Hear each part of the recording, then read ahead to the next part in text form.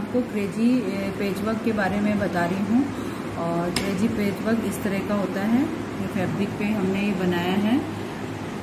पहले सबसे पहले फैब्रिक पे बनाने के लिए हमें पैटर्न बनाना पड़ेगा। ये पैटर्न है। और पैटर्न बनाने के बाद जो भी आपको किसी भी साइज़ का चाहिए या किसी भी आ, मतलब आप फ्लावर उसमें भी बना सकते हो। कैसा भी पैटर्न आप बना सकते हो, लेकिन आप क्रेजी के लिए जो भी पीसेज आपके पास हैं, उसको आपको किस तरह से जोड़ना है, किस तरह से पैटर्न बनाना है, वो आप बेस तो यही है बेसिक तो यही है। आप इस तरह से आप पैटर्न बनाएँगे पहले, फिर आप इसको इस तरह से पीसेज में काट लेंगे। इस तरह से।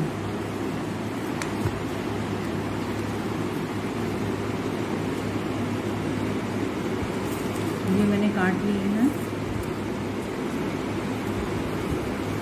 करने के, इसको कटिंग करने के बाद पैटर्न को इस तरह से नंबर कर लें। फिर आप, जो आपका फैब्रिक है, उस पर आप, जैसा भी फैब्रिक है आपके पास पीसेस भी हैं तो इसके अकॉर्डिंग आप पीस सेट कर सकते हो पैटर्न के अकॉर्डिंग जो ये पीसेज हैं, इसके अकॉर्डिंग आप फैब्रिक अपना पैटर्न सेट कर सकते हो। सबसे पहले हमने पैटर्न बनाया, फिर उसके बाद मैंने ये पीसेस काटे। ये सारे पीसेस काटे, फिर उसमें नंबरिंग कर दी, फिर उसके बाद मैंने फैब्रिक पे काटा। फिर मैंने प्लेन स्विंग मशीन से ये सब पीस जोड़े हैं। ये सब पीसेस मैंने प्लेन स्विंग मशीन से जोड़े हैं।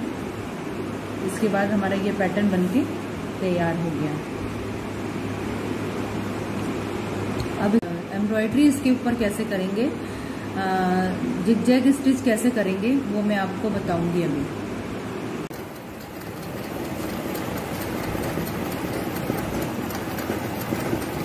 तरह से आपको सारे जो पीसेस हमने स्विंग मशीन से जोड़े थे, वो जिग जैग के द्वारा फिनिश करने हैं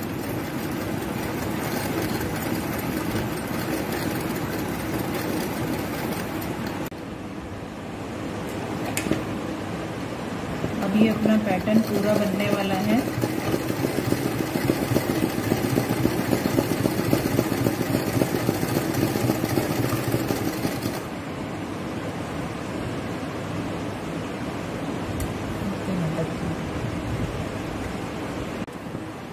अब हमने सारे पीसेस जोड़ लिए हैं। अब मैं आपको खोल के बताती हूँ कैसा पैटर्न बना है इस तरह से। ये पूरा पैटर्न इस तरह से बना है।